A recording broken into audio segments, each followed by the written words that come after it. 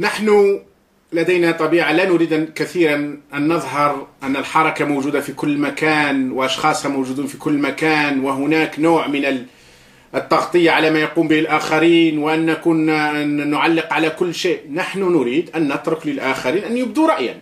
نحن نؤمن بالرأي الآخر. نؤمن بالرأي المعارض والرأي المخالف والرأي المساند ونؤمن بكل هذه الآراء. لكن لدي ثلاث ملاحظات على هذا الموضوع.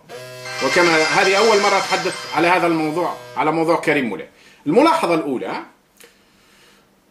نحن لم نكن مع كريم مولاي فهو جاء الرجل قدم شهادات وقال أنا فعلت كذا وفعلت كذا وفعلت كذا لفترة كذا. بل إنه عندما التقاني أول مرة جاء لكي يخترق الحركة وهو هو اعترف بذلك. وفي ثاني لقاء قلت له ذلك واعترف. وقال نعم ابتعثوني لذلك. واعترف بأشياء كثيرة. وأعطاني الملف. وقال أعطيك الملف لكن من فضلك لا تخرجه إلا بموافقتي. وظل الملف الذي أخرجناه قبل بضعة أشهر عندي لأني أعطيت كلمة. بالرغم أنه كان يزلزل النظام وبالرغم أنه كان في حقائق كثيرة كما, كما, كما ذكر هو فيما بعد. ولكني من الرجال الذين عند أعطوا كلمة فإن الموس على الرقبة أسهل لي من أن أخالف كلمتي. ولم نخرج الموضوع إلا بموافقته. وبعد تغيير آه، بعض الأشياء فيها في الشهادة. ثم خرج هو للإعلان وقال نعم أنا من كتبت هذا الكلام وأنا من كتبت هذا الكلام. الأمر الآخر آه، فيما يخص شهادة كريم مولاي نحن لا نقول أن كل ما جاء في الشهادة صحيح. لكننا نقول لمن يعتقد أنه غير صحيح فليقدم الدليل.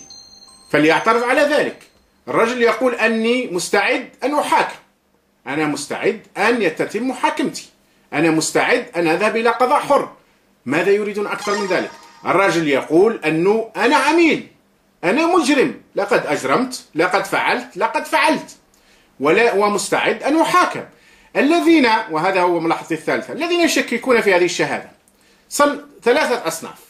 صنف آه بالنسبة له المفاجأة كبيرة جدا إلى درجة أنه لا يصدق. هو يبحث عن تصديق ويريد أن يصدق لكنها من شدة وهلع المفاجأة مما استمع. مجازر قتل اغتيالات ذبح نهب كذا كذا كذا لم يستطيع عقله لم يستوعب وأنا أتفهم ذلك. صنف ثاني لا يسعه ولا يريد للآخرين أن يقولوا كلمة الحق. بالنسبة له كلمة الحق تأتي من عنده ولا ما تجيش؟ بعد الطوفان بلا به الأرض ما تدورش. ولا الشمس ما تطلعش. هو يمتلك الحقيقة ويحتكر الحقيقة.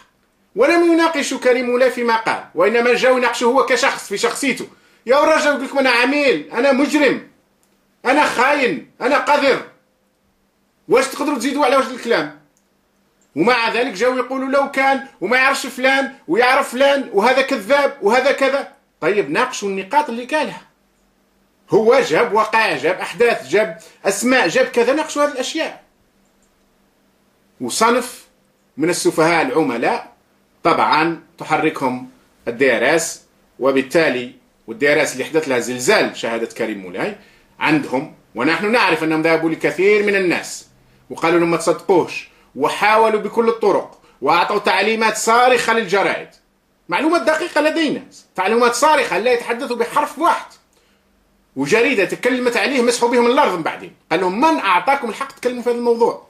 ولذلك تشوف عشرات مما يسمى بالجرائد كما يسمي أحمد مطر بالمراحيض هذه لم تتحدث عليه ولو كلمة من مشاهد مع أن الشهادة خطيرة جدا. ومع أنهم أحيانا يأتون بأشياء لا معنى لها. ومع ذلك لم يتحدث. ثم يقولون الصحافة المستقلة.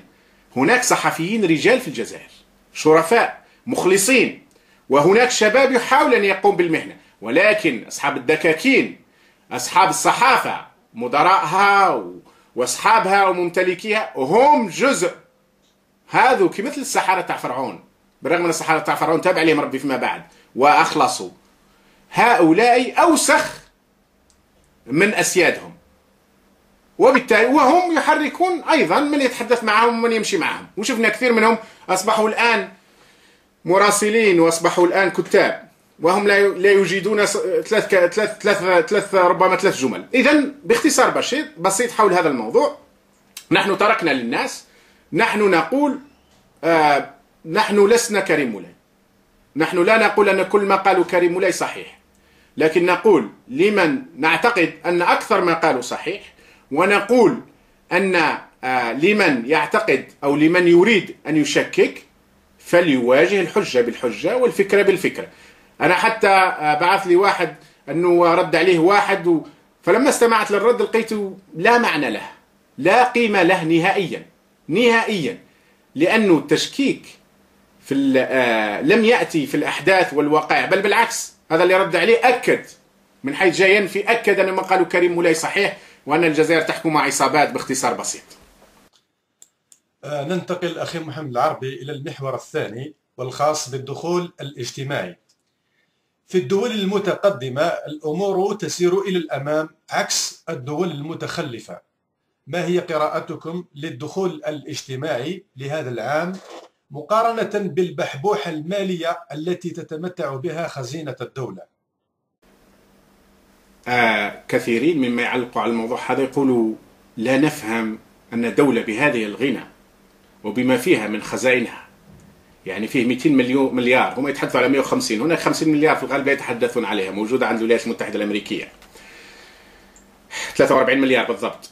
آه يقولون أن بهذه الأموال يعني هناك شعوب أخرى مش بهذه الأموال ليس لها أموال أصلا. ومع ذلك خرجت وبنت آه معجزات. وهناك شعوب أخرى بأقل بالكثير من هذه الأموال والمداخيل اللي هي طبعا المداخيل البتروليه كما تعلم. 99% من مداخل الجزائر من مداخل البترول وبنت دول وأنتجت و و و إلى آخره.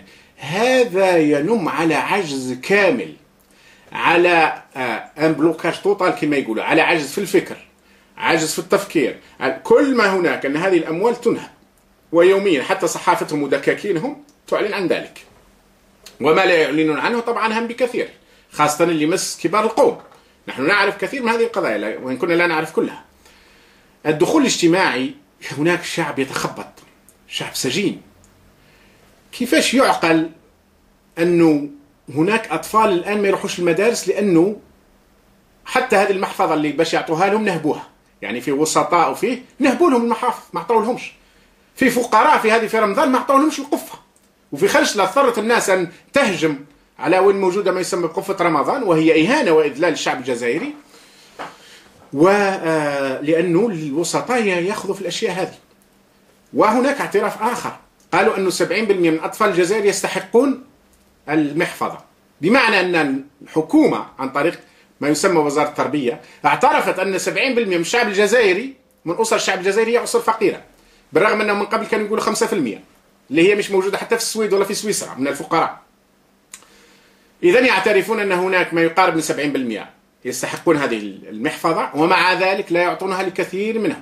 واللي يعطوها لهم يعطوها لهم ناقصة أو يعطوها لهم يأخذوا لهم منهم. سراقين. وطبعا السراقين موجودين في طول الخط. إذا كان كبير القوم يسرق بالملايير الدولارات إذا كان الجماعة تاع سوناتراك هما يعترفوا بأن السرقة تجاوزت المليار دولار فيها. ثم يطلقون الوزير هذاك يروح راه موجود الآن في أمريكا وما بين أمريكا وفرنسا قاعد يتجول. وغيره. إذا كان إذا كان. طبعا اللي بعدهم يسرق واللي بعده يسرق واللي بعده يسرق وكل واحد حاط يدو في جيب الآخر. إلا من رحم ربك. ولكن الأغلبية تعاني. أنا أتحدث طبعا على ما يسمى بالمسعولين. وليس وليس الشعب المسكين. الأغلبية تعاني. هم مرة أخرى يقولوا ما كانش حل ما كانش تغيير لهذا النظام. فالناس وش تعمل؟ عاد شوف المظاهرات. آه فقط أول أمس القصبة معركة حقيقية في القصبة.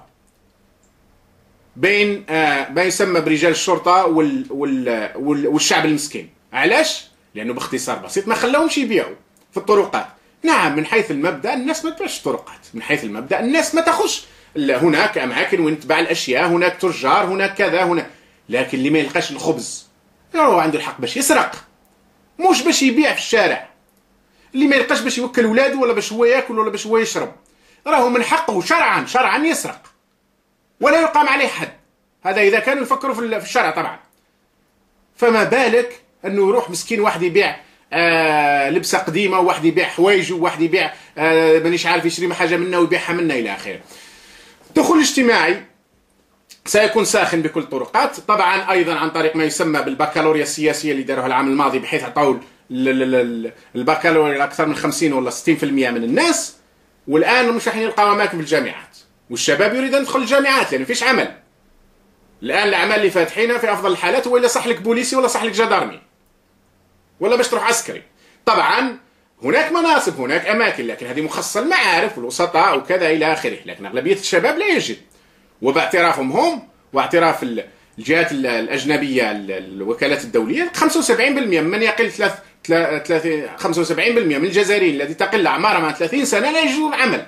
ثلاث ارباع شباب لا يجدون عمل. آه سيكون دخول آه ساخن لكن دائما نعود لابد من قوة تنظم هذه القدرة على الحركة وعلى التحرك وعلى الرفض لأن راهي وصلت للعظم. راهي كاين ناس والله ماتت من الجوع. مش مجازا ماتوا حقا. ونشرت بعض جرائدهم ذلك. وذكروا لنا ناس اللي يعرفوهم ذلك. كاين ناس يأكلون مزابل. مرات كاين ناس يقولوا لي ليش تذكر في بعض القنوات قلت أنا الجزائر ياكل مزابل. نغطوا راسنا نخبوا راسنا آه، تحت الأرض كما النعامة. هذه حقيقة.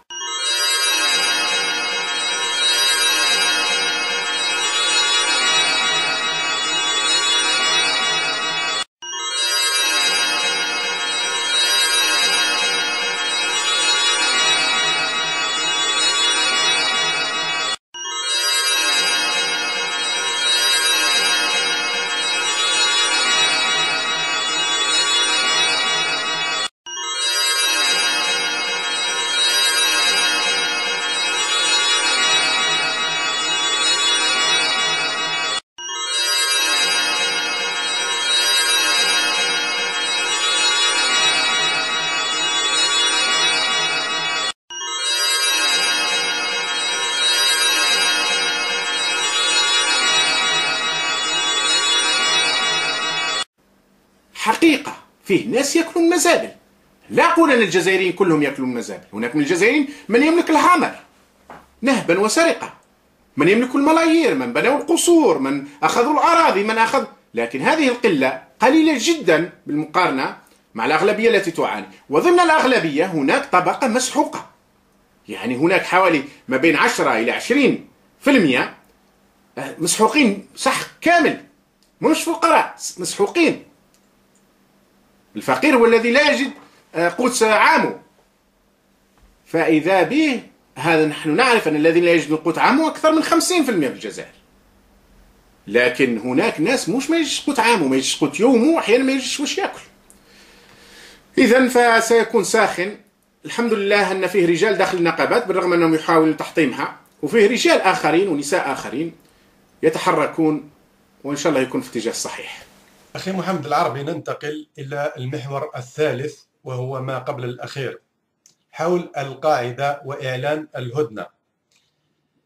اجتمع يوم أمس الأحد 26 سبتمبر 2010 قادة أركان كل من مالي والنيجر وموريتانيا بثمن راست لوضع خطة استراتيجية لمحاربة ما يسمى بالقاعدة في المغرب الإسلامي وتبادل المعلومات بشأن هذا الموضوع وكان من المفترض هو أن تحضر ليبيا وتونس والمغرب طالما أن ما يسمى بالقاعدة له طابع مغربي. كيف تفسرون غياب أو امتناع دول المغرب العربي أو منع هذه الدول من حضور هذا الاجتماع؟ وكيف تفسرون ظاهرة احتماء ما يسمى بالقاعدة في المغرب الإسلامي بالصحراء؟ وكان من المفترض هو أن يحتمون بالجبال ويتقربون من الوديان لحماية أنفسهم من القصف والحر والعطش.